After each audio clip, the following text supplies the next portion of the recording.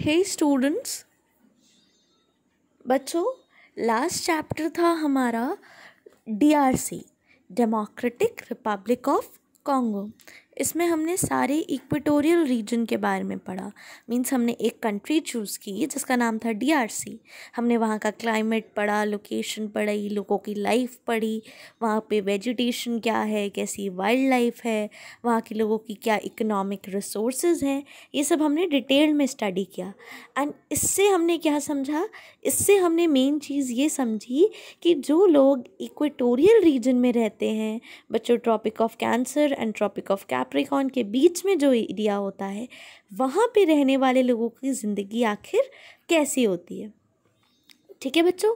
तो वहाँ पे क्लाइमेट था हमारा हॉट एंड वेट तो हॉट क्लाइमेट से हम लोग बहुत ज़्यादा बोर हो गए एंड अब हम लोग स्टार्ट करने जा रहे हैं हमारा new chapter that is Greenland the land of ice and snow इस चैप्टर में हम लोग बहुत आईसी आईसी प्लेस है हमारी ग्रीन लैंड जो आर्कटिक सर्कल और नॉर्थ पोल के बीच में लाई करती है, इसके बारे में पढ़ेंगे। यहाँ पे भी हम लोग कंप्लीट डिस्कशन रखेंगे। लोकेशन पे नेबरिंग कंट्रीज़ पे क्लाइमेट पे वेजिटेशन वाइल्ड लाइफ लोगों की ज़िंदगियाँ इकोनॉमिक रिसोर्सेज सब हम देखेंगे इस चैप्टर में। तो चलिए स्टार्ट करते हैं। बच्चों, हम हम उस चैप्टर को रेफरेंस लेके भी एक बार चलेंगे। हमने सबसे पहले उसमें क्या देखा था? इक्वेटोरियल रीजन क्या होता है? मैंने अभी आपको बताया Tropic of Cancer and Tropic of Capricorn के बीच का एरिया ऐसे ही हम लोग इस चैप्टर में जो रीजन के बारे में हमारी स्टडी रहेगी, उसको कहते हैं फ्रिजिड जोन कौन सी जोन बच्चों? फ्रिजिड जोन ये कहाँ होती है?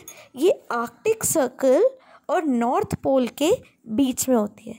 यहाँ पे मैं, अगर आपको मैप को बड़ा करके दिखाऊँ तो यहाँ आप देख सकते हैं।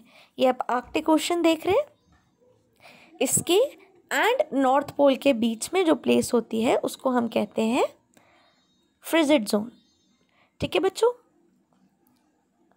इस रीजन को टुंड्रा रीजन भी कहते हैं। क्या कहते हैं बच्चों? Tundra region. ठीक है? तो ये आप नाम याद रखेंगे।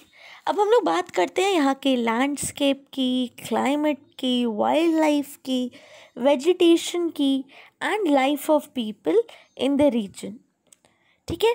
Taking example of Greenland the land of ice and snow तो हम किस कंट्री को अपना एक एग्ज़ाम्पल के लिए कंसिडर कर रहे हैं? हम लोग ग्रीनलैंड की बात करेंगे। ग्रीनलैंड एग्ज़ाम्पल के थ्रू हम पूरी फ्रिजेड जोन को पढ़ने की कोशिश करेंगे।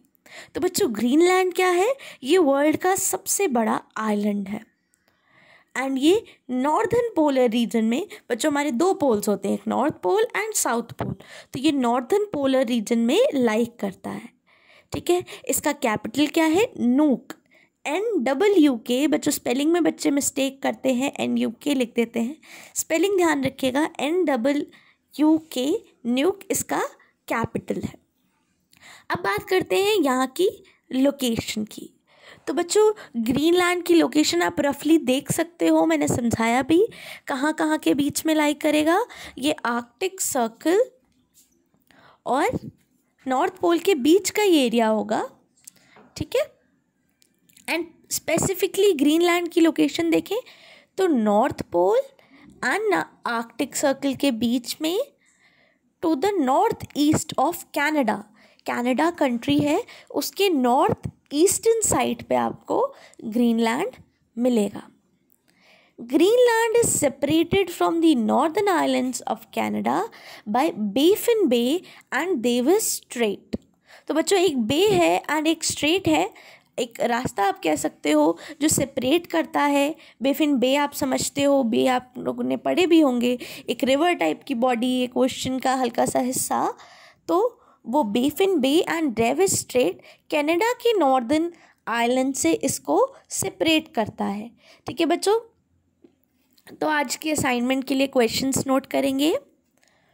Which is the largest island of the world right its capital तो आपको आइलैंड लिखना है ग्रीनलैंड उसका कैपिटल न्यू फिर आपको लिखना है Greenland is separated from northern islands of Canada by तो उसके आगे फिलिंदा ब्लैंक्स तो दो प्लेसेस आप लिखेंगे Baffin Bay and Davis Strait यही आपका आज का असाइनमेंट है।